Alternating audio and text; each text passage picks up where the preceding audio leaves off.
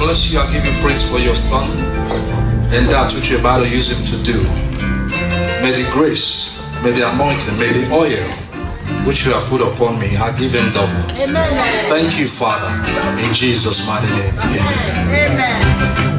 Hallelujah. I'm reading from Deuteronomy 26, from verse 1.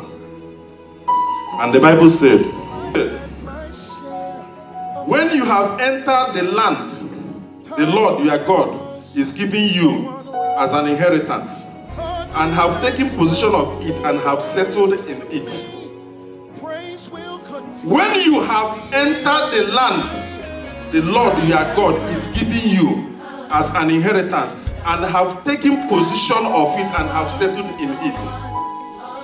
Take some of the first fruits of all that you produce from the soil of the land that the Lord your God is giving you and put them in a basket. Then go to the place the Lord your God will choose you as a dwelling for his name. And say to the priest in office at the time, I declare today to the Lord your God that I have come to the land the Lord swore to our ancestors to give to us.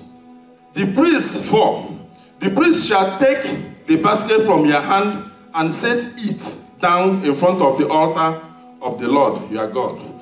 Then you shall declare before the Lord your God.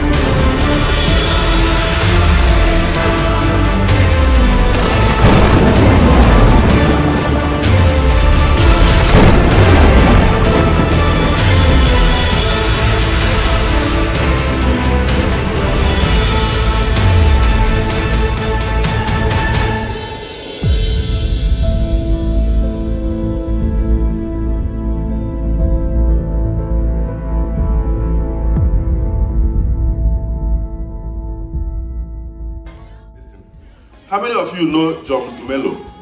He's an Ghanaian artist and, uh, and a fashion designer. He tweeted this week, I saw it, he said, Your best success will come after some disappointment. Don't be scared to fail. It's part of life. I have failed many times my pursuit of success, but I always bounce back 10 times stronger. Hmm. My comeback has been always greater than my setback. So I'm telling you today, you will not fail. Whatever that God said that He will do is not late. God will still do it in Jesus' name. Amen. Thank you very much.